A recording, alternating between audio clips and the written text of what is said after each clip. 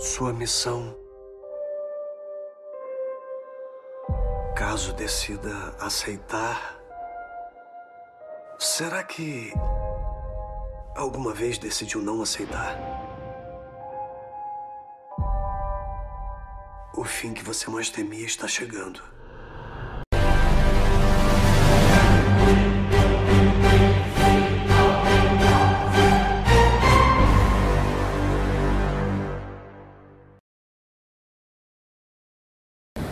Salve comunidade, Santa Cruz, Nordeste Vale, tudo bem aí? Olha eu aqui nessa praia linda. O dia não está totalmente claro, né? Então, como eu ia dizendo anteriormente, se você tiver um tempinho para viver, viva. Não fique preocupado com contas para pagar. Você acha que eu não tenho contas para pagar não? Meu amor, eu estou desempregado. Cheio de conta para pagar, uma filha para cuidar, uma mãe idosa em casa. Mas eu arrumo minha vida de tal maneira que dá tempo para você viver, sabe? Porque quando chega a velhice, quando chega a doença, quando chega a morte, que ninguém gosta de falar de morte, mas morte para mim é simplesmente um, um, eu poderia te dizer, é mais uma fase, fim da vida, né? Lembre-se que a gente não pede para nascer, mas quando nasce não quer sair daqui.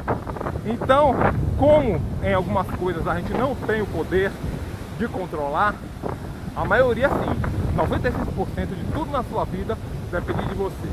O restante é um pouco de Deus, é um pouco de sorte, é um pouco de bondade de outras pessoas, porque ninguém é feliz sozinho.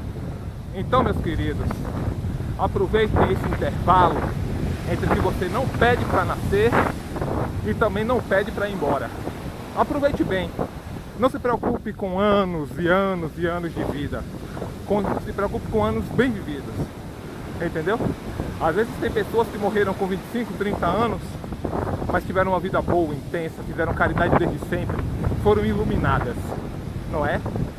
Tem gente que vive 80 anos e não fez nada grandioso nem para a própria família, nem para os próprios parentes.